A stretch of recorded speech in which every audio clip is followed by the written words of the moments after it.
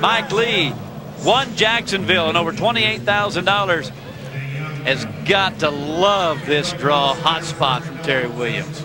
And especially, you know, he got a score last night. He's 83 and a half points. And, you know, hot spot's the bull that everybody wants to get on. One jump around the right, away from his hand, but just a really good draw for him. All right. Time for Mike Lee to show off a little. Show everybody just how good you can look on the back of a bull for eight seconds. Nice job, Mike Lee. Nice, nice young man right there, as well as a great bull rider, maybe a future world champion if he keeps it up. 87 big points for Mike Lee. Now as we look overhead, hot spot, just the one you want.